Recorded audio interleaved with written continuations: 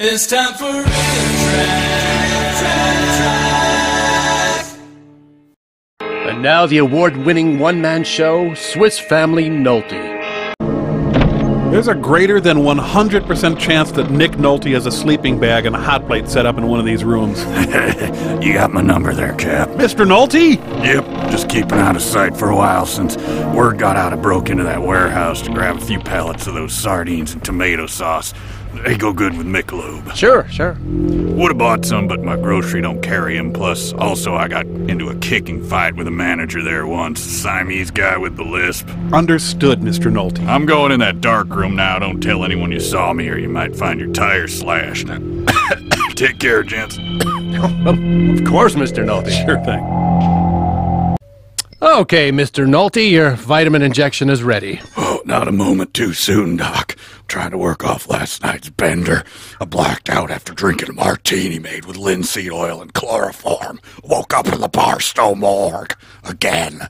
It's the treasure of the Amazon. That's how big it is. This guy's a prototype Nick Nolte. Hey, watch your mouth there, compadre. When they made me, they broke the mold. Nobody can grease up a hat or sweat out a shirt like old El Nolte. Remember that. Nick Nolte! Yeah, I'm sorry, Captain. I broke in here after a tequila rampage last night. Horked down too much preserved okra. Sleeping it off, man. Ah, pawing through clumps of hair in someone else's garbage can. How is Nick Nolte, anyway?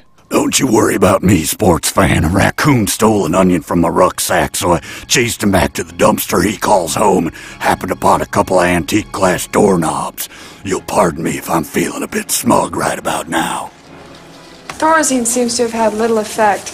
It knocks most of the other patients out, but you know how strong he is.